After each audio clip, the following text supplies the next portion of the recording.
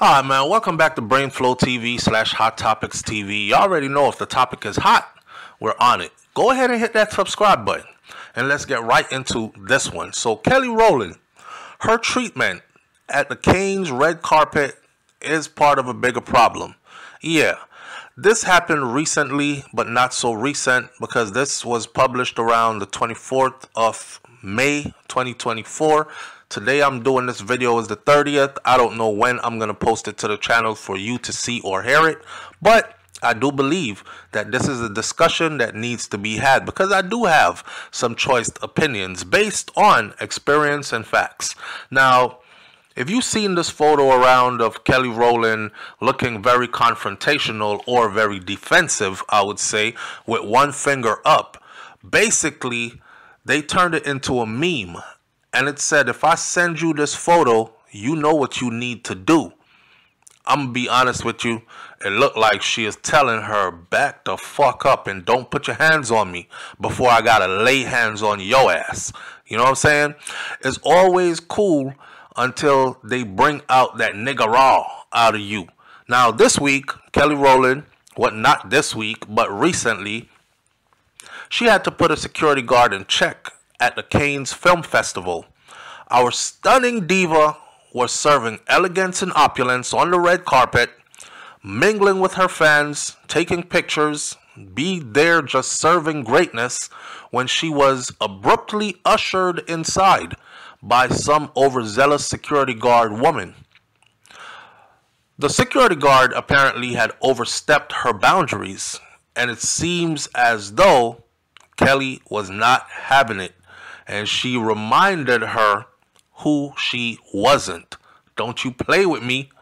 Don't put your hands on me again.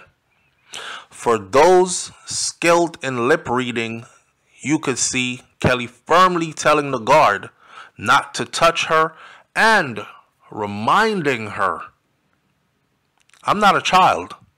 Don't put your hands on me.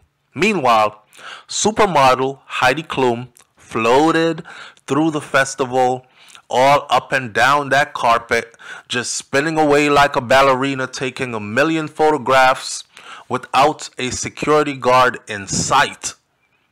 Right around the same time, enjoying her moment in the spotlight.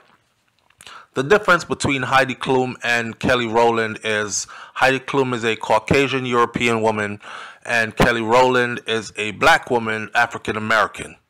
Heidi Klum attends the event and she is off doing her thing and being admired. Even Beyonce's publicist, Yvette Noel Schure, took to Instagram to highlight the difference in the way Heidi was treated versus the way Kelly was treated. She even posted a side by side comparison that showed Heidi Klum on Bothered Stroll versus Kelly Rowland's interrupted moment. I mean, they rushed down on Kelly like she you know when you get to a club and they're like the selective kind of a club and they're like you could get in you could get in you please step to the side you're not dressed properly you could get in you could get in you over there please step to the side that's how they rushed up on her there was a guy assisting the female security guard. He had his hand outstretched like stay in your lane. And then while they were trying to take pictures the paparazzi is there. They're trying to take pictures of Kelly. And here goes this security guard blocking the pictures from being taken, like standing right in front of her with her arm outstretched, which I thought was foul as hell. And I'm sure Kelly thought, er, I gotta smile through this. Why this bitch don't move out my way? Does she know? I know she knows who I am, right? However, she wouldn't move she proceeded to put hands on Kelly Rowland to usher her in the direction she wanted her to go. And that's when you saw the other picture come out with the finger wagging where Kelly is telling her, Don't put your hands on me. I'm not a child. I don't need you to tell me where to go or push me around. Kelly Rowland then addressed the incident in an interview with the Associated Press later on, saying that she understood that the guard had to stand her ground but that she, Kelly herself, had her own ground to stand too. She noted that there were other women in attendance who didn't quite look like her, if you know what she means. Let me be blunt. They weren't black. Okay? The white women at the event, they were not scolded and they were not pushed off the red carpet. So Kelly said, I had to stood my I had to stand my ground. Kelly Rowland says, quote unquote, I have a boundary. Now, after a video of her argument with a red carpet security guard at the Cannes Film Festival went viral, the incident underscores a serious issue beneath the festival's glittering surface. It is the unequal treatment of certain stars on the red carpet. If non whites appear on that carpet, they are pushed and shoved and rushed off the carpet. And if the and then the white stars they're given all the time in the world to take as many pictures as they want to. They are simply pointed in a direction which they should proceed to next, not with anybody rushing up to them to bombard them and lay hands on them and push them in a certain direction. You know, and a lot of people were saying Kelly Rowland deserves the same respect. She's just as big a star, if not even bigger, than most of them who were in attendance. She's a Destiny's Child for crying out loud. After her interview with AP, Kelly Rowland returned to the carpet with no security invading her space and gave us a stunning candid, which we're still admiring. And I bet they won't play with her like this again because she had to stand her ground. But the question is, why did it come to that? Why did she have to stand her ground in that manner? Why didn't the white people or the white women or stars who were on the same carpet given completely different treatment? Well, I'll put it to you like this. I don't know why anybody is surprised.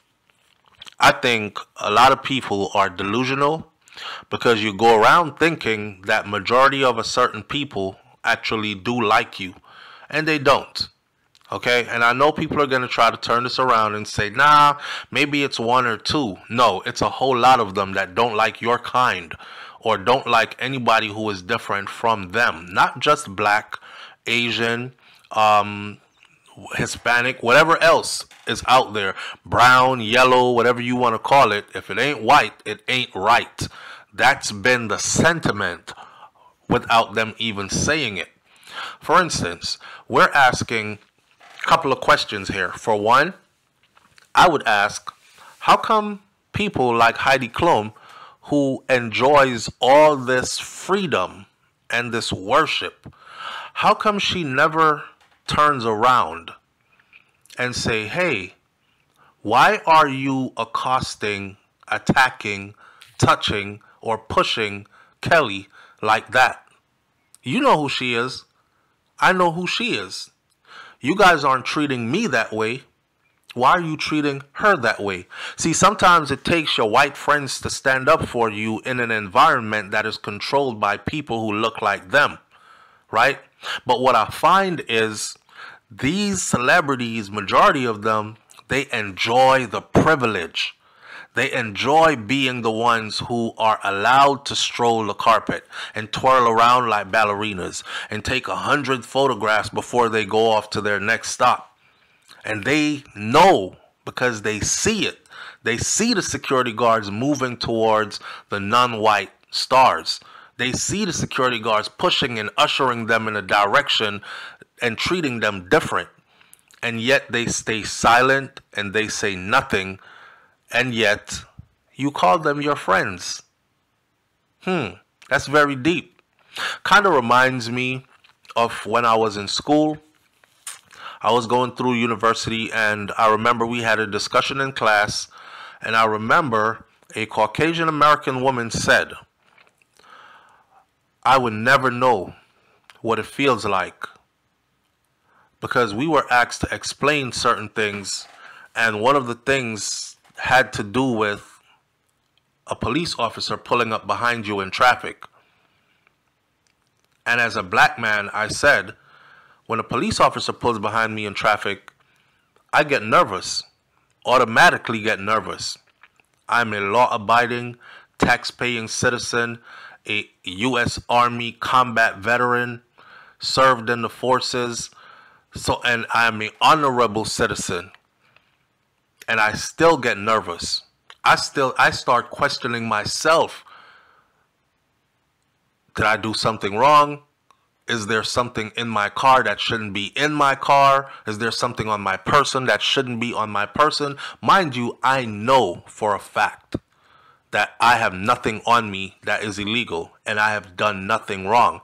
But I still question myself. That is how unsure you become when they pull behind you because you know that they have the authority and the power to turn a simple traffic stop into your death or into your life in prison by simply planting something on you or by simply escalating a situation to the point where it requires them to use force and then it is justified. I also said in that class while explaining that, I said, listen, as a parent, my children are now teenagers and they they will soon be old enough to drive. At the time, my children weren't teenagers; they were pretty young. This was years ago, and I said the day will come when they will be able to drive, and I will be worried sick when my son gets into a car and goes off into the city. I'll be worried sick until he comes home because I'm going to be worried about him being pulled over by a Caucasian police officer and what the outcome might be. So I have to already be teaching my children at home how to interact with a police officer, especially a Caucasian police officer, when they are pulled over. Turn the car off completely.